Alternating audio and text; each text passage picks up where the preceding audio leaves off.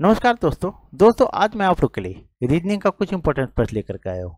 तो चलिए देर ना करते हम शुरू करते हैं। तो देखिए, पहला प्रश्न है, शब्द C O M P L E X complex में कितने ऐसे अक्षर युग्म है जिनके बीच उतने ही अक्षर है जितने अंग्रेज़ी वर्णमाला में होते हैं?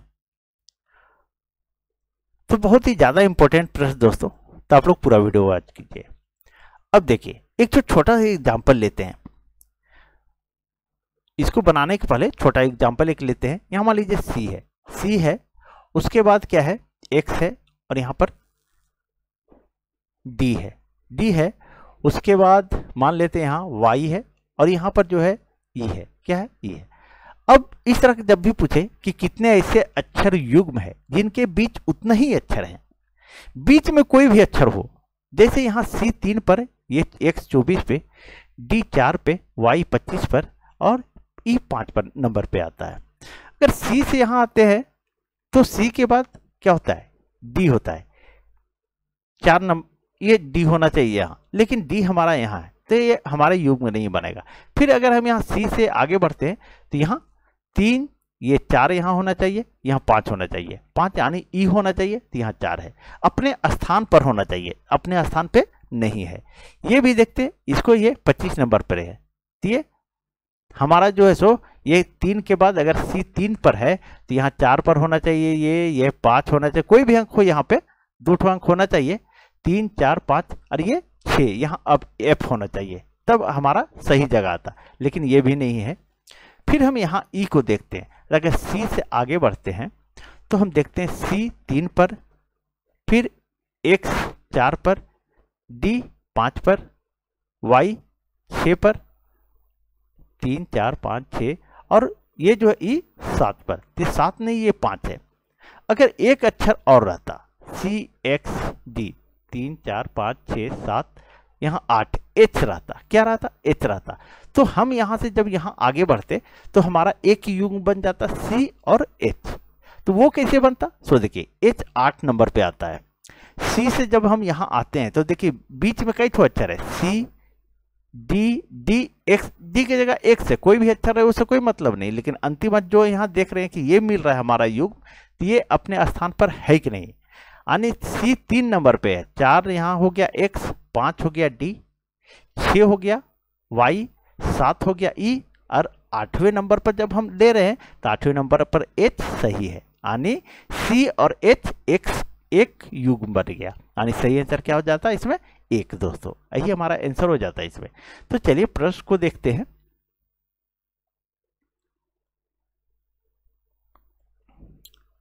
अब देखिए मैंने इसे लिख दिया है। अब कित, कौन कितने नंबर पे आता है? ये तीन पे आता है ओ पंद्रह पे आता है ये एम तेरह पे आता है पी सोलह पे एल बारह पे ई पाँच पर और एक्स चौबीस पर। अब देखते हैं यहाँ से हम यहाँ से जब आते हैं दोस्तों, तीन से ये चार होना चाहिए, पंद्रह है। यहाँ कितना होना चाहिए? पंद्रह के बाद तीन, चार, ये पाँच होना चाहिए तो तेरह है। यहाँ पर छः होना चाहिए, तीन से आ रहे हैं तो यहाँ सोलह है। तो ये बन नहीं रहा है दोस्तों। फिर यहाँ से यहाँ आते हैं तो तीन, चार, पाँच छः यहाँ सात होना चाहिए, जी होना चाहिए तो यहाँ बारह है, एल है। यहाँ पर आते हैं, आठवें नंबर पर एच होना चाहिए तो यहाँ पाँचवा नंबर है। ये भी नहीं बनेगा, ये तो एक्स बहुत दूर हो जा रहा है। फिर हम क्या करेंगे? दूसरे को चेक करेंगे। जब एक बार सी से चेक किए, अब फिर हम उसके बगल वाले अक्षर से चेक करेंगे, यहाँ से चेक करेंगे। अगर यहाँ से आते हैं तो पंद्रह से यहाँ सोलह होना चाहिए, नहीं बन रहा है। ठीक है? फिर यहाँ से यहाँ आते हैं तो यहाँ सत्रह आना चाहिए तो यहाँ सोलह हो जा रहा है। पंद्रह, यहाँ क्योंकि पंद्रह था यहाँ पे, पंद्रह पंद्रह, सोलह, सत्रह, ठीक है? फिर यहाँ से आते हैं तो अठारह होना चाहिए। अब ये भी नहीं बन रहा है दोस्तों, क्योंकि यहाँ बारह है। फिर हम इधर से आते हैं तो क्या बन रहा है? ये पाँच पर। तो देखिए, पंद्रह के बाद, पंद्रह के बाद सोलह, सत्रह, अठारह, उन्नीस होना चाहिए तो यहाँ पाँच है। फिर यहाँ जो है सो, कितना होना चाहिए? पंद्रह, सोलह, सत्रह, अठारह, उन्नीस, बीस होना चाहिए तो यहाँ चौबीस है। तो ये हमारा युग में नहीं बना। फिर अगर हम ओ से चले थे, फिर एम से चलेंगे। तो एम से देखेंगे, तेरह के बाद यहाँ चौदह होना चाहिए तो ये भी नहीं यहाँ पंद्रह होना चाहिए नहीं है, या सोलह होना चाहिए नहीं है तो यहाँ सत्रह होना चाहिए, ये भी नहीं। तो इस तरह में एक भी नहीं आ रहा है। चलिए, अब हम क्या करते हैं? दहने सेट से चेक करते हैं। एक बार हम दहने सेट से चेक कर लेते हैं। अभी लेफ़्ट से चेक किए थे ये चौबीस है। तो चौबीस के बाद यहाँ पच्चीस होना चाहिए, छब्बीस होना चाहिए, लेकिन सभी घटते क्रम में है। यहाँ सत्ताईस होना चाहिए, यहाँ अट्ठाईस उनतीस, यहाँ तीस होना चाहिए। तो ऐसा कुछ है नहीं। ठीक है तो आगे हम देखते हैं, फिर से। तो पाँच है, अगर पाँच लेते हैं तो पाँच के बाद छः सात, आठ, नौ, दस होना चाहिए। ये भी नहीं है। फिर हम देखते हैं, ये बारह को। तो ये बारह में है, यहाँ से आते हैं।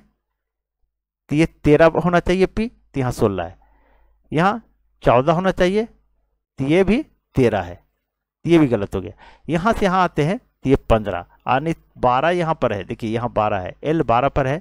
तो बारह के बाद यहाँ तेरह चौदह, पंद्रह। एक युग मिल गया। बीच में कोई भी अक्षर है उससे कोई मतलब नहीं है। तो यहाँ से यहाँ जब हम आते हैं, चलिए इसको थोड़ा सा क्लियर करके मैं बता रहा हूँ पहले।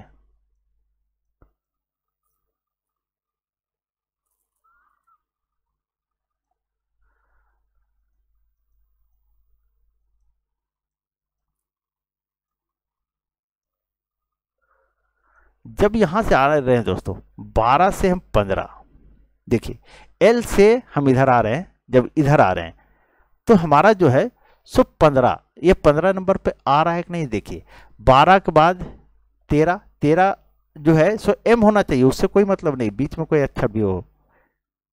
यह क्योंकि यहाँ बोल रहा है, कितने ऐसे अक्षर भी हो जिनके बीच उतने ही अक्षर है, जितने अंग्रेज़ी वर्णमाला में है तो बीच में उतना ही अक्षर होना चाहिए। यानी बारह के बाद तेरह होना चाहिए यहाँ तो तेरह है।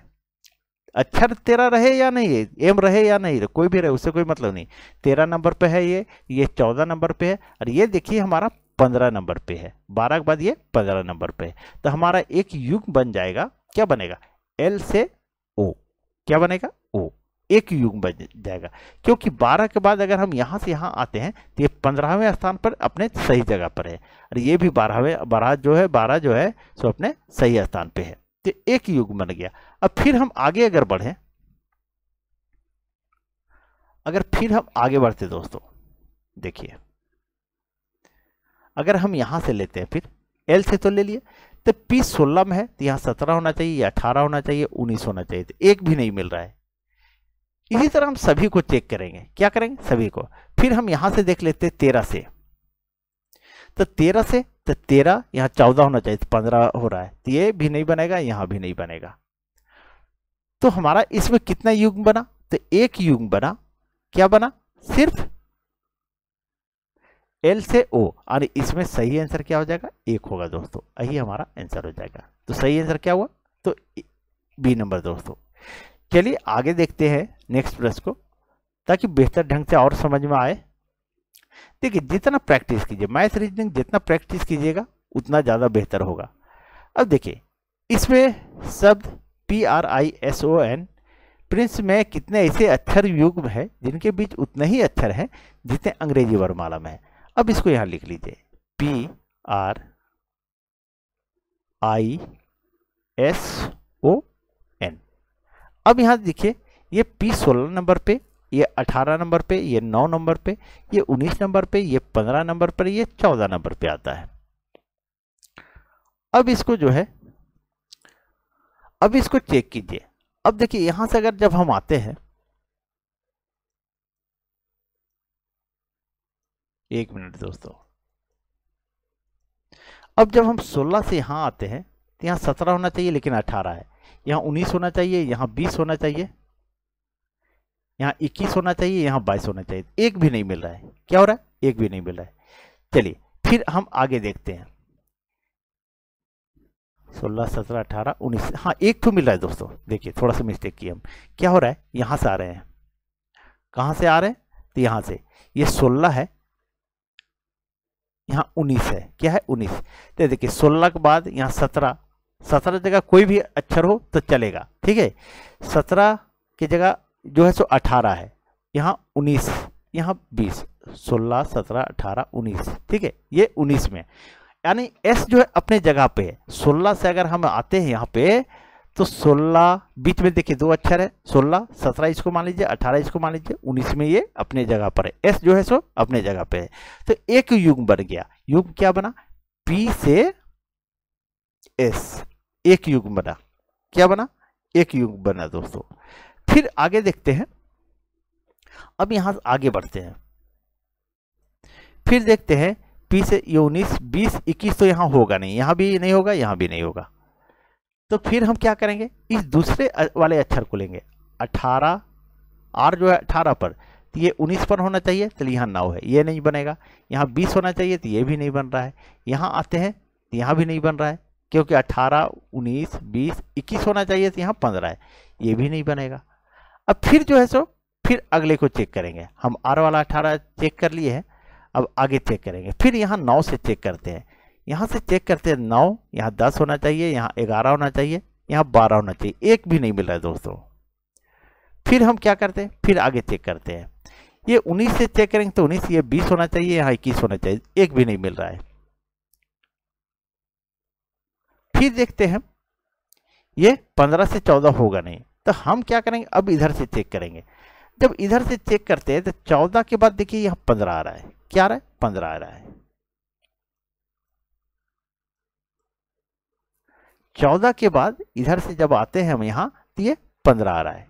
क्या? पंद्रह। यानी एक युग और बन गया। यानी चौदह के बाद पंद्रह आता है। यानी ये अपने स्थान पे है। तो एक युग बन गया क्या? एन से ओ दो बना अभी तक।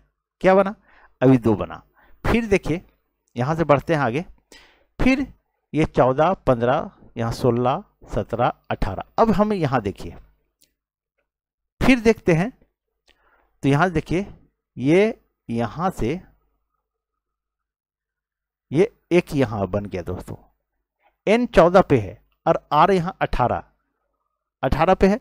तो चौदह के बाद अगर हम गिनते यहाँ पे, देखिए, चौदह के बाद यहाँ पंद्रह सोलह, सत्रह, अठारह। तो अठारह अपने जगह पे है। ये बीच में कोई भी अंक रहे, उससे कोई मतलब नहीं। तो ये एन जो है सो यहाँ चौदह पे है। ये ओ पंद्रह हो गया। एक तो हम यहाँ बना ही चुके हैं। एन ओ ये पंद्रह, सोलह यहाँ हो गया, सत्रह यहाँ हो गया, अठारह ये हो गया। यानी अठारह नंबर पर आ रहा है तो ये अठारह अपने स्थान पे है।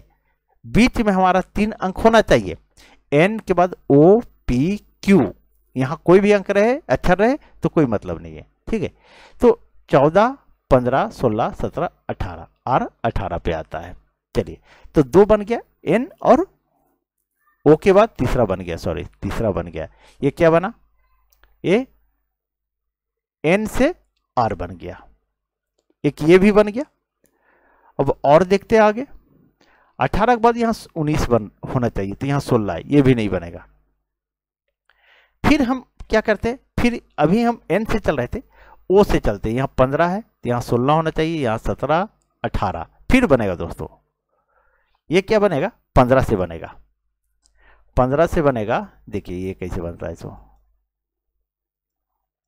थोड़ा सा समझने में है दिक्कत, लेकिन देखिए, अगर हम यहाँ से आते पंद्रह से, अठारह तक तो पंद्रह ओ पंद्रह है, सोलह की जगह एस है, सत्रह की जगह आई है अठारह की जगह आर है। ये अपने स्थान पर। ये जो है ओ से चलते हैं तो पर भी ये अपने स्थान पर है। यानी एक और युग बन जाएगा ओ से आर। ये भी एक युग बन गया दोस्तों। अब और हम चेक कर लेते हैं। पंद्रह से हो गया। अब यहाँ 19 से 19 से 20, 21, 22 एको नहीं एक भी नहीं आ रहा है दोस्तों। ठीक है? अब फिर यहाँ से देखते हैं। चलिए 19 देख लिए। 19 फिर देखते हैं यहाँ 9 से। तो 9 से यहाँ 10, 11 नहीं आ रहा है। फिर 18 से 19 एक भी नहीं आ रहा है। यानी हमारा युग जो बना है कैठो बना है दोस्तों। सो देखिए तो एक ये बना दो तीन चार। कितने युग बना? चार युग। तो यही हमारा आंसर हो गया। यानी बोल रहा है सब प्रिंस प्रिंसन में कितने ऐसे अक्षर युग हैं जिनके बीच उतने ही अक्षर हैं जितने अंग्रेज़ी वर्णमाला के तो इसमें कितने हैं? तो चार है। कितने हैं? चार है दोस्तों। तो चलिए आगे बढ़ते हैं और नेक्स्ट प्रश्न देखते हैं।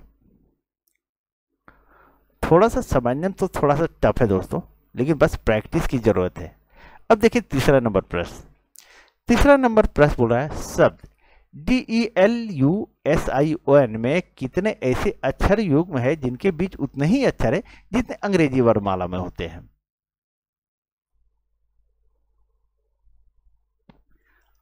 अब देखिए दोस्तों, ये कितने नंबर पे आता है? सबसे पहले ये जो जितने नंबर पे आता है, उसको लिख दीजिए। ये चार पे आता है, डी ई पाँच पर आता है, ये छः पर, ये सात पर, ओ सॉरी, देखिए कहाँ हम भी मिस्टेक कर रहे हैं। एक मिनट। ये कितने नंबर पे लिखना है? सो, डी आता है चार में, ई आता है पाँच में, एल आता है बारह में, यू आता है इक्कीस में, एस आता है उन्नीस में आई आता है नौ में ओ आता है पंद्रह में और एन आता है चौदह में। कितना में? चौदह में। अब हम इसको देखें दोस्तों। अब देखते डी से ये चार है, यहाँ से एक पाँच। यानी ये एक मिल गया। हमारा जो एक मिल गया। क्या मिला? एक मिल गया यहाँ पे। क्योंकि डी चार पे आता है, ई पाँच पे आता है। तो हमारा ये एक युग्म बन गया। क्या बना? डी से ई, एक युग्म बन गया। फिर हम आगे बढ़ते हैं। फिर आगे बढ़ते हैं। डी के बाद ये चार नंबर पे है डी यहाँ पाँच, यहाँ छः पर तो छः होना चाहिए एफ़ होना चाहिए तो यहाँ एल है। सात, आठ, ये नौ, एक और बन जाएगा यहाँ पे। देखिए, ये अपने स्थान पे है। कौन अपने स्थान पे? फिर हम डी से जब यहाँ से हम चलते हैं आगे, ये हमारा अपने स्थान पर है। यानी चार के बाद यहाँ से, ये नौवें स्थान पर बता रहा है। तो चार के बाद देखिए D E F G H I I अपने स्थान पे है। ये अपने स्थान पे है। बीच में कोई भी अक्षर है, उसे कोई मतलब नहीं। तो दूसरा युग हमारा बना क्या? डी से आई दो बन गया। फिर आगे हम चेक करते हैं। फिर है आई ये नौ, फिर यहाँ दस होना चाहिए, फिर यहाँ ग्यारह होना चाहिए। ये नहीं बन रहा है। चलिए तो अगला अक्षर से अब चेक करेंगे। अब क्या करेंगे? अगला अक्षर से चेक करेंगे। ये पाँच है। पाँच के बाद यहाँ छः होना चाहिए, यहाँ सात होना चाहिए, यहाँ आठ होना चाहिए, यहाँ नौ होना चाहिए। तो यहाँ भी एक बन रहा है दोस्तों। देखिए, कौन सा बन रहा है? सो देखिए, यहाँ सब ई से चलते हैं, ई से चलते हैं, यहाँ नाइन तक आते हैं। तो ई के बाद ई, एफ़, हमारा देखिए, एक मिनट दिखा रहा हूँ मैं। ई के बाद एफ़, जी, एच, आई आई अपनी जगह पे है। आई जो है, नौ नंबर पर आ रहा है इसे। तो ये नौ नंबर पर सही है। तो एक युग्म और बन जाएगा। तो युग्म क्या बनेगा? ई से आई। क्या बना? ई से आई बना। फिर ये दस आना चाहिए था, जो पंद्रह है, ये जो है हमारा, ये हमारा आना चाहिए, दस, ये आना चाहिए ग्यारह तो ये हमारा नहीं बन रहा है। फिर आगे देखिए अब हम लेते हैं बारह से। क्या करते हैं? बारह से लेते हैं। अगर हम बारह से यहाँ चलते हैं तो बारह से यहाँ तेरह होना चाहिए, तेरह के बाद यहाँ चौदह होना चाहिए, यहाँ पंद्रह होना चाहिए, यहाँ सोलह होना चाहिए, यहाँ सत्रह होना चाहिए। लेकिन यहाँ चौदह है, यहाँ पंद्रह है, यहाँ नौ है, यहाँ भी युग्म नहीं बन रहा है। फिर आगे देख लेते हैं। फिर है इक्कीस से। तो इक्कीस के बाद यहाँ बाईस होना चाहिए, यहाँ तेईस होना चाहिए, यहाँ चौबीस होना चाहिए, यहाँ पच्चीस होना चाहिए। यहाँ चौदह है, यहाँ पंद्रह है, यहाँ नौ है, ये भी नहीं बन रहा है। अब फिर देखिए, इधर तो एक भी नहीं बन रहा है, उन्नीस के बाद बीस, इक्कीस, बाईस होना चाहिए तो नहीं बन रहा है। अब हम क्या करते हैं, इधर से चल के देखते हैं। क्या करते हैं, इधर से चलते हैं, राइट से चलते हैं। यह चौदह के बाद देखिए, एक पंद्रह बन रहा है। क्या बन रहा है, चौदह के बाद पंद्रह। यानी दोनों अक्षर अपने स्थान पे है। ये जो है चौदह पर है तो यहाँ एक बढ़िए पंद्रह पर, यानी एक युग्म और बन गया हमारा एन से ओ। क्या बना? एक युग्म और बन गया, यानी एन से ओ बन गया। उसके बाद और देख लेते हैं कि क्या युग्म बन रहा है। तो चौदह के बाद पंद्रह, यहाँ सोलह, सत्रह, अठारह, उन्नीस, बीस, इक्कीस, एक भी नहीं आ रहा है। बीस में डी है, उन्नीस में ई है, और ये देखिए, चौदह के बाद एक मिनट यहाँ चौदह के बाद पंद्रह तो बन गया। सोलह आते हैं तो यहाँ नौ है, यानी आई है। सत्रह आते हैं तो यहाँ उन्नीसवां अक्षर है। आगे अठारहवा आता है, अठारह नंबर पे आते हैं तो यहाँ इक्कीसवां नंबर। इस तरह एक भी आगे नहीं बन रहा है। चलिए, अब हम पंद्रह नंबर से चल के देखते हैं।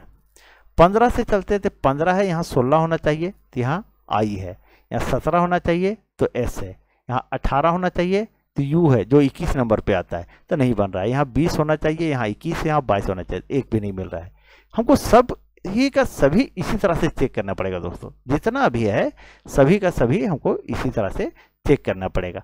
फिर यहाँ देखिए, आई से ये नौ है, ये दस, ग्यारह, एक बारह। देखिए यहाँ बन जा रहा है।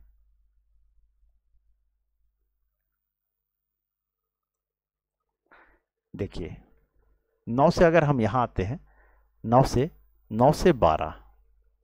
तो देखिए, नौ के बाद ये हमारा दस हो गया, ग्यारह हो गया, एक बारह हो गया। यानी बारहवा ये जो है अपने ये अपने स्थान पे है। नौ से यहाँ आते हैं तो ये अपने स्थान पे है। नौ के बाद दस की जगह पर एस है, ग्यारह की जगह पर यू है, और बारह अपना जगह पर है, एल अपनी जगह पर है। यानी एक युग और हमारा बन गया। क्या युग बना? तो आई से एल, आई से एल। ये बना दोस्तों। अब और देखिए बनेगा। तो और देखते हैं तो 19, 20, 21, 22, तेईस ये भी नहीं बनेगा। ये भी नहीं बनेगा। फिर आगे देखेंगे हम। 21, 22, तेईस चौबीस ये भी नहीं बन रहा है। इस तरह से सारा चेक करेंगे तो एक भी नहीं बनेगा दोस्तों। तो हमारा इसमें जो युग बना सो कितना युग बना? चलिए थोड़ा इसको रेड कर लेता हूँ। ये आई से एल बना था कितने युग बना? तो एक, दो, तीन, चार, पाँच युग बन गया। कितना बना दोस्तों? तो पाँच युग बन गया। यही हमारा आंसर हो गया। तो इसमें सही आंसर क्या होगा? एक नहीं, दो नहीं, तीन नहीं, यानी तीन से अधिक। तो सही आंसर क्या हो गया? तो डी नंबर हुआ दोस्तों। मुझे उम्मीद है सारे लोगों को समझ में आ गई होगी। एक क्वेश्चन और नीचे छूट रहा है। तो मैं छोड़ रहा हूँ ताकि आप लोग उसको पीडीएफ से प्रैक्टिस कर लीजिएगा। चलिए आज यहीं तक। नीचे वाले का मैं आंसर बता देता हूँ कि नीचे वाले का आंसर कितना है। देखिए, ये क्वेश्चन मैं छोड़ रहा हूँ। अगर आप लोग पीडीएफ डाउनलोड कीजिएगा तो वहाँ से आप लोग, इसका सही आंसर था दोस्तों, दो था। कितना? दो। इसको आप लोग प्रैक्टिस खुद कर लीजिएगा। अगर पीडीएफ डाउनलोड करते हैं तो। चलिए, वीडियो अच्छी लगे तो प्लीज़ वीडियो को लाइक करें चैनल को सब्सक्राइब करें, और वीडियो को शेयर ज़रूर कर दें दोस्तों। चलिए थैंक यू